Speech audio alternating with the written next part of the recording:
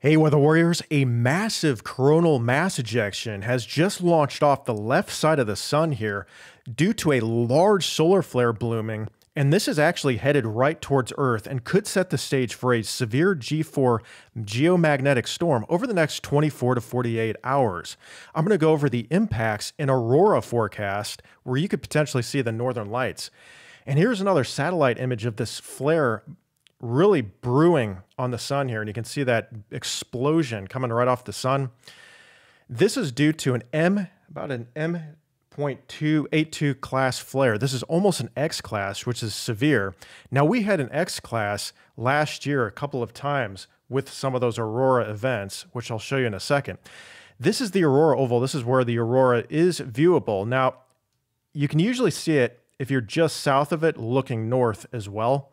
This is kind of the auroral arc, and you can see it's well into Canada right now. But look what's going to change over the next 24 to 48 hours. This is the forecast from the SWPC. This is tomorrow night's aurora. This is Sunday night. And this is tonight's. I mean, there's even a chance tonight we could see them. More likely tomorrow, uh, early evening. You can see this red line here. This is the viewing line.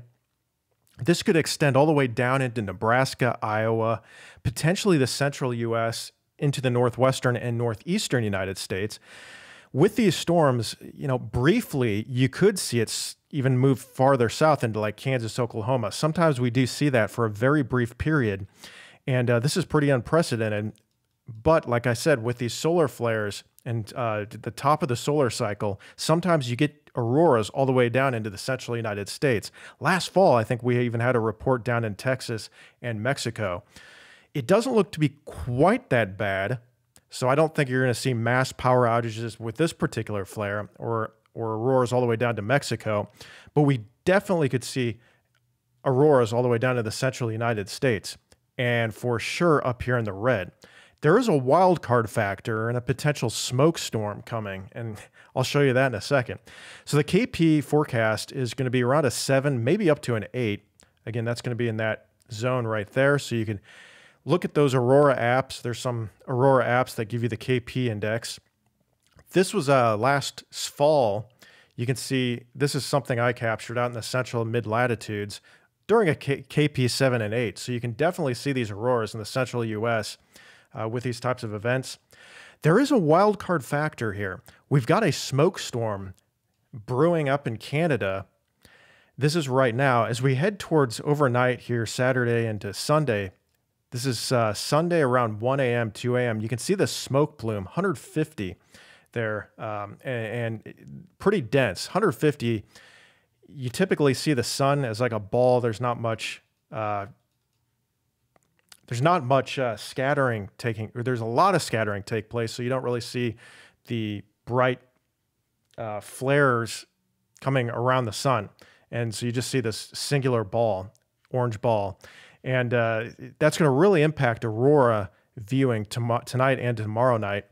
Now, watch as I fast forward this uh, towards tomorrow night. This is around, let's go like 10 p.m. or so.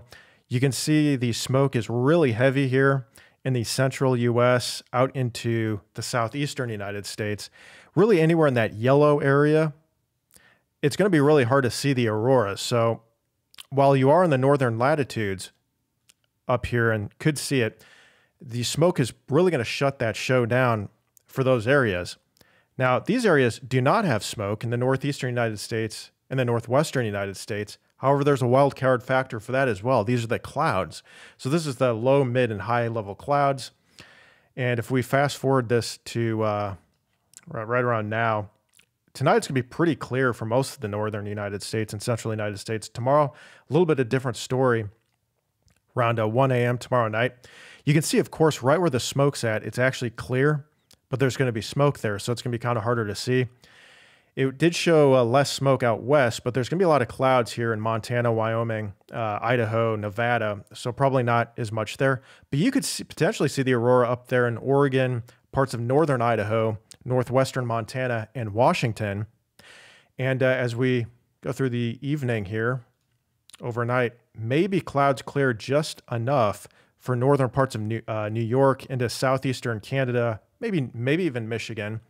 uh, although there might be some smoke there. You could also see the aurora there. Everywhere else, again, there's going to be clouds and smoke. Uh, so it's actually kind of a kind of a tricky night to view the aurora. I don't think you're going to see widespread reports tomorrow due to all that smoke and clouds, but some areas where there's no clouds and no smoke around peak time tomorrow night, you, you could see the aurora pretty intensely way up in the northern United States. Now, that's just one storm. We could theoretically see several more storms here over the next few years. We're at this uh, zone right here, 2025. These solar cycles peak every 11 years where they dip, they get really little sunspot activity, solar flares, and then they really spike. And we're right on the maximum right now. So we could be seeing some more of these events over the next few years. And it really will start to taper off after 2028 before we start a new whole, whole new cycle there. So more events will probably be coming. This website's a great website uh, to view these auroras. And I'm going to show you what to look for here. This is spacew.com slash plots.php. The thing that you want to look for is when this BZ field here, down here in this graph, once that starts to go like below negative 10 or so, right now it's kind of hovering around zero, up and down. This graph will go way down negative 10, 20, 30, sometimes 40. When you see those types of values, when this red nosedives like that, it typically means the aurora is getting pulled down really far south into the atmosphere. And when I saw these auroras last year, it was around a negative 20 or so, and this was kind of in the central portions of the United States. So that's something you're going to want to watch for. You'll see this velocity scream up. It's actually pretty high right now, but up into that 750 plus range uh, the solar wind density as well. And this is that, that flare I was talking about right there. So these are kind of cool charts to keep your eyes on. This is the current aurora activity that they'll show. And so if you see that start to scoot down in the central United States, you'll know the aurora is there.